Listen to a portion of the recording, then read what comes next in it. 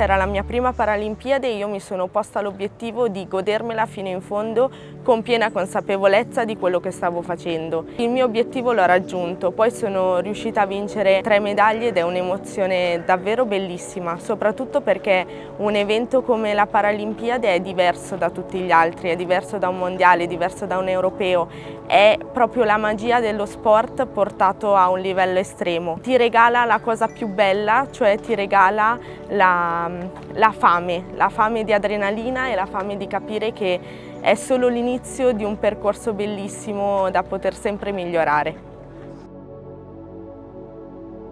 Penso che la cosa più bella sia proprio il messaggio che lo sport riesce a veicolare, soprattutto dopo il periodo difficile che abbiamo vissuto. È stato bello vedere tutta l'Italia insieme a tifare per tutti gli italiani, che fossero olimpici, paralimpici, calcio, eh, pallavolo, femminile, maschile. Alla fine tutti rappresentavamo lo stesso eh, tricolore, cantavamo lo stesso inno. Aver rappresentato tante volte la parte più bella del nostro paese è stata la cosa più bella in assoluto.